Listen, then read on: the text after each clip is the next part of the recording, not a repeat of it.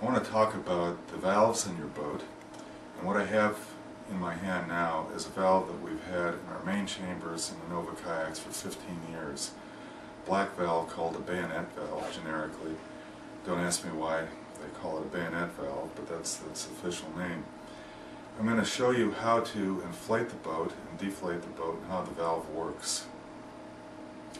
When you first unroll the kayak, you'll notice that the, it has a valve cap that will be off the valve and a little orange button on the inside. That orange button controls the one-way valve on the inside, which allows you to put the inflation hose in the boat, inflate the boat, pull out the hose, and the air will stay in the chamber. This little orange button controls a little orange plate on the back of the valve.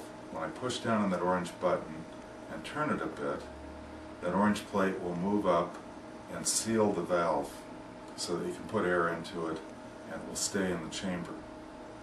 So what you want to do when you first get the valve prepared for inflation is to push down on that orange button